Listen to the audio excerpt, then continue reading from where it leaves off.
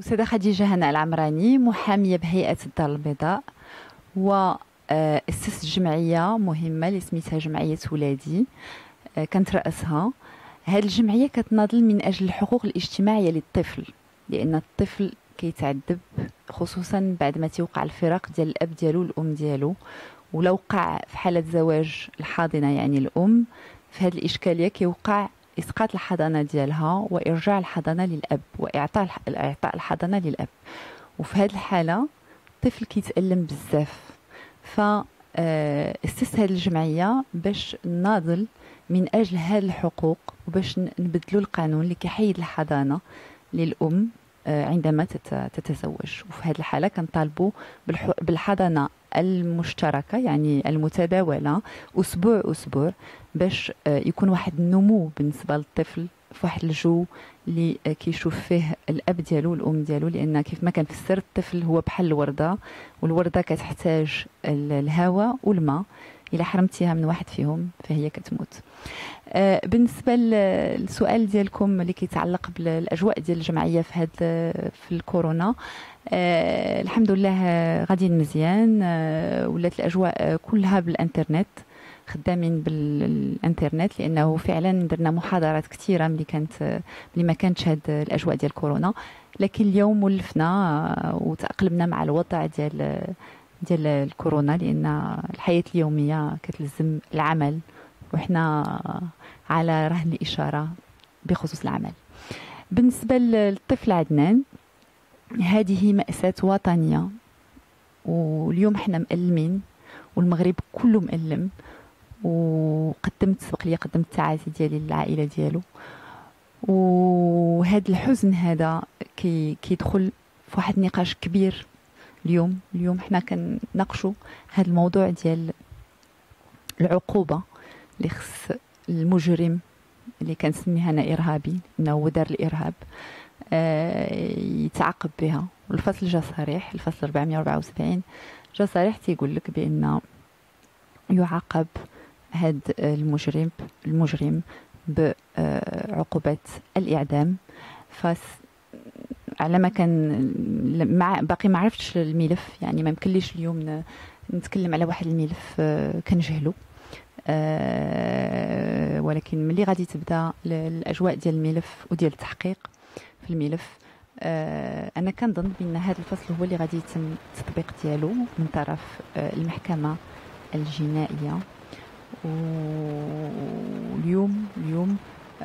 خصنا نفتحوا هذا النقاش ديال هل تنفذ أم لا هذه العقوبة.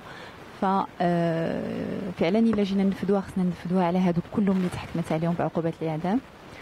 هذا هو الإشكال اللي كيتطرح بالنسبة لنا. ولكن فتحوا النقاش آه ونحاولوا نحاولوا آه نزيدوا بهذا النقاش لأنه لا يعقل باش باش هذه الحالة وهذه الكارثة اللي كتوقع لوليداتنا اللي كيفاش كيتكرفسوا واللي كانت يمكننا كلنا نتعرضوا لهذه المأساة.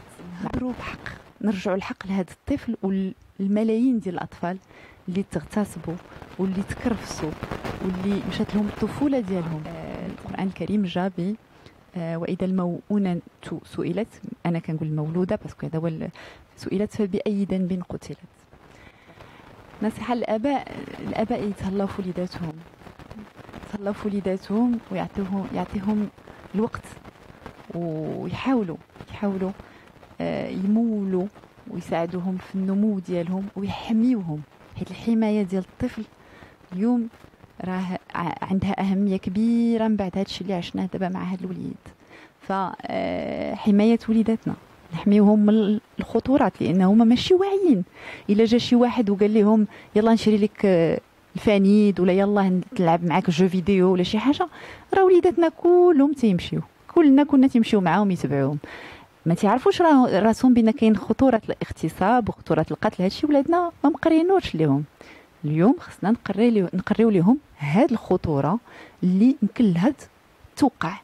donc باش يعرفوا راسهم مع من تيهضروا ويحاولوا واحد الإنسان أجنبي ما تعرفوش ما يهضروش معاه. ولا واحد الإنسان كيجي كيهضر معاهم بدون سبب ولا واحد الإنسان ماشي من العائلة ديالهم ما يهضروش معاه. هذه النصيحة اللي يمكن نقدم.